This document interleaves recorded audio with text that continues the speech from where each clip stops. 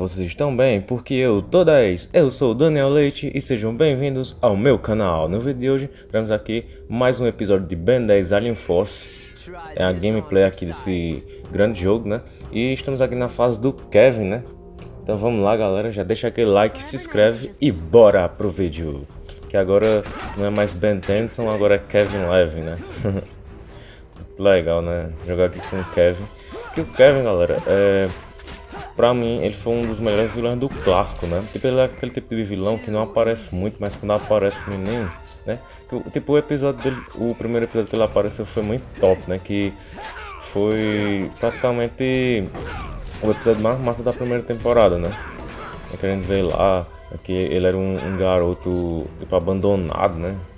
E tudo, ele andava nas ruas. E ele era, era que nem o Ben, né? Tinha poderes. Só que os poderes dele era, era diferente, ele podia absorver, né, e tal. Aí, só que quando ele descobre o Omnitrix, ele fica obcecado pelo Omnitrix, né? Aí ele se torna do mal, né? Ele, ele vai contra o Ben, né? Que o Ben, ele tem o altruísmo, né? Já o Kevin não, ele queria, porque queria matar os caras lá só pra pegar o dinheiro, né? Não tava nem aí. Aí ele se tornou um dos maiores vilões do Kevin, né? Ah, os maiores vilões do Ben e tal. Né? Teve até a, aquela forma né, absor de absorção do, dos 10 aliens do Ben, né, que se tornou no Kevin 11. Vamos falar nas mutações do, do Kevin. É, qual a pergunta do dia é essa? Qual a melhor mutação do Kevin, na opinião de vocês? Bom, galera, já vou dizer aqui, né, que a, a forma mais poderosa, né, do Kevin é o Ben Supremo, viu? E o Ben Supremo. Oh!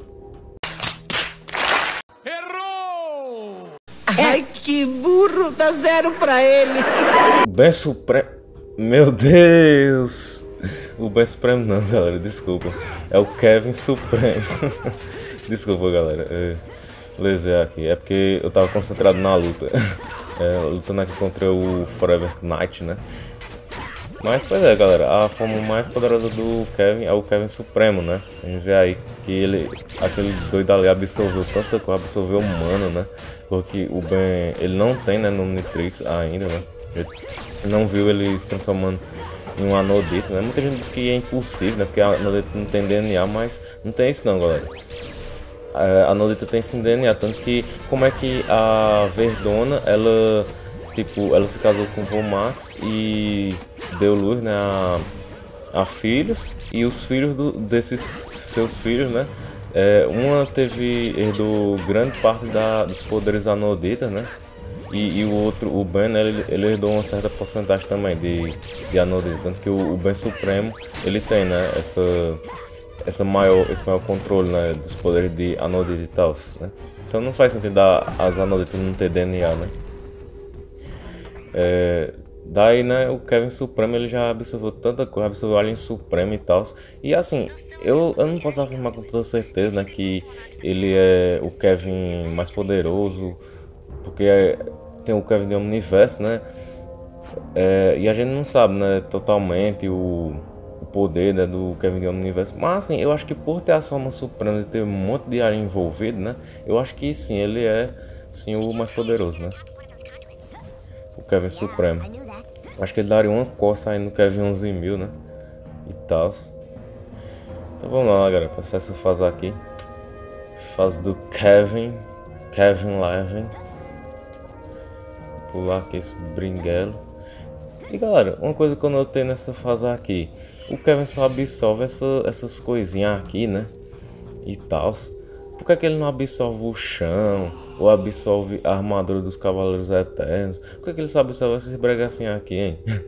É porque também é a lógica do jogo, né? Porque o jogo ele não segue a, a lógica original da série, né? E tal. Porque se fosse assim, ó, o friagem. O friagem, como eu disse no episódio anterior, ele não voa, né?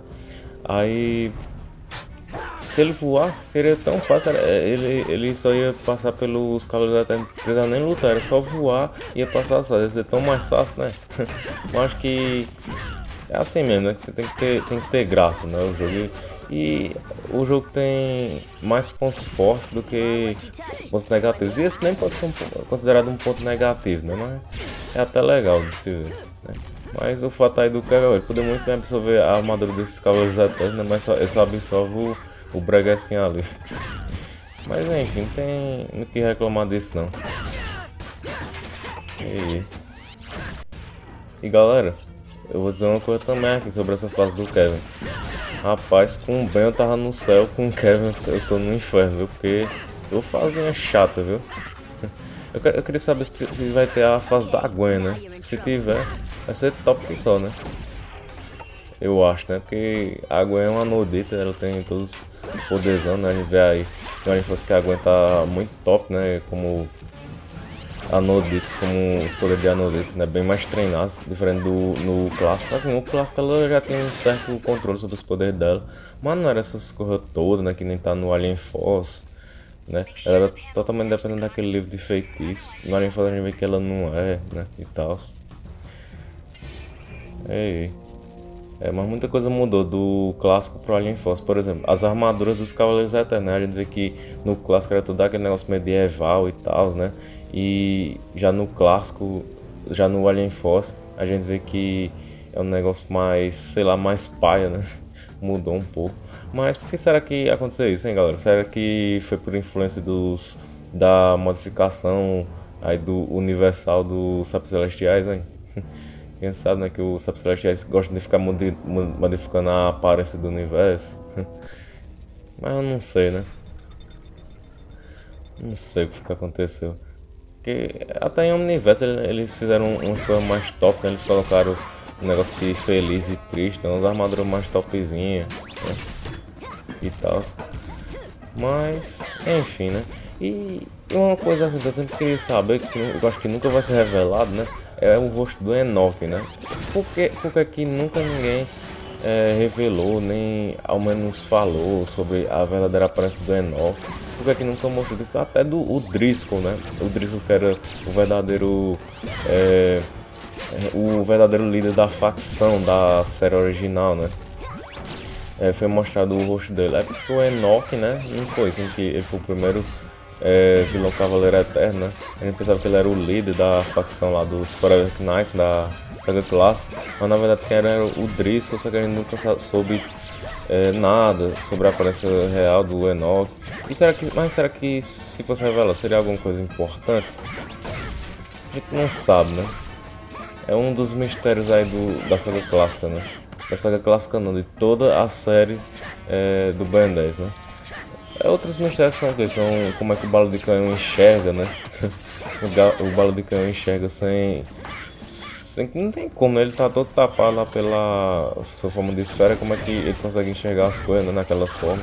Alguns dizem que é por causa daquela linha preta, né? Que possibilita que ele, que ele consiga ver. Ou ele tem algum sensor, né? Que vai guiando ele, sei lá.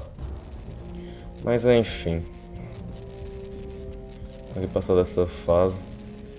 Aí, é uns puzzles meio. Ah, não tem, não tem preguiça de jogar. E é um monte de vilão repetido, meu Deus. É, não é mais. Mas de boa, não tenho o que reclamar desse jogo não. Esse jogo é, é muito bom. Eu gosto muito dele jogar, é um dos melhores. Ah galera, e vocês lembram que eu já falei no primeiro episódio no segundo que eu já joguei esse jogo quando eu era criança, né? Bom, eu joguei até essa fase aqui, tá ligado? Só que eu nunca consegui passar. Eu não sei porquê. Tipo assim, eu sei que tá. Eu sei, eu sei que é dificilzinho, mas eu, eu até agora tô tentando imaginar por que, é que eu não conseguia passar, qual era a minha dificuldade. Eu não me lembro, entendeu? não consigo me lembrar o que é que eu tinha tanta dificuldade nesse jogo, mas até que agora não tá tendo muita não, né? Tá até interessante esse jogo.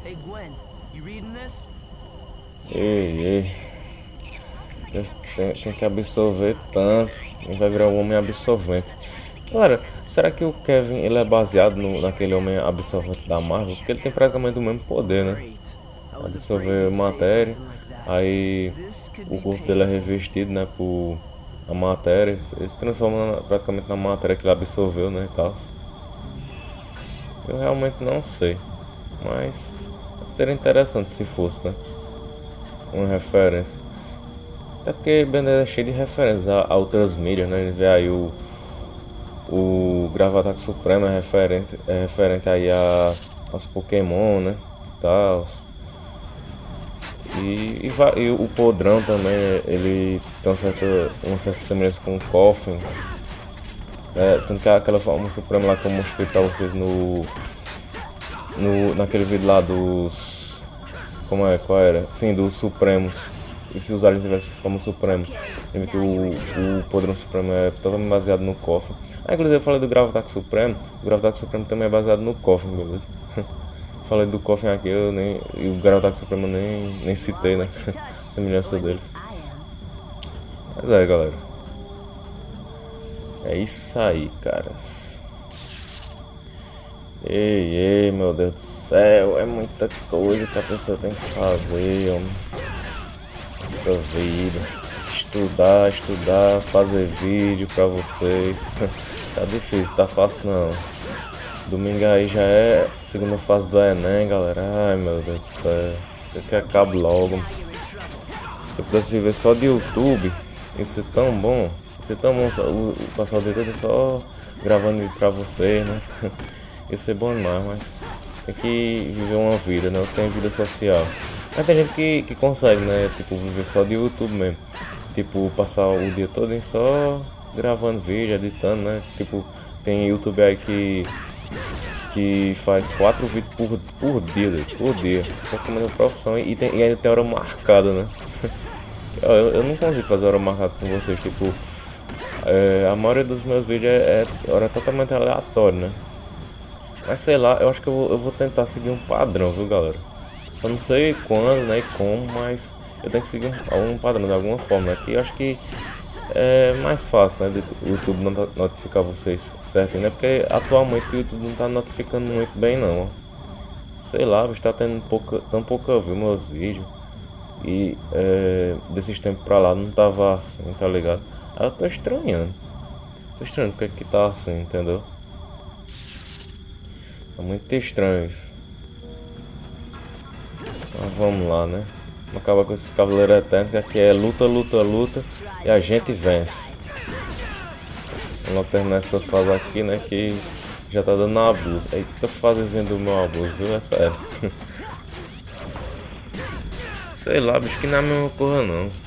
Com o bem.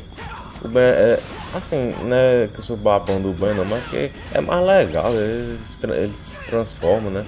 Tem várias opções, vários combos diferentes o Kevin né, os mesmos combos e tipo, não faz diferença, né?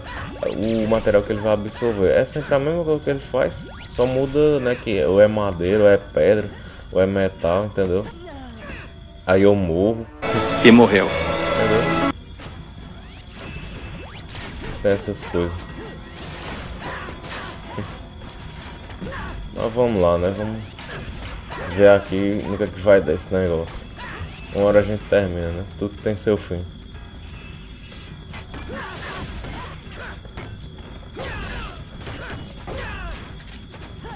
Esses ninja eternos, eu achei eles tão legal.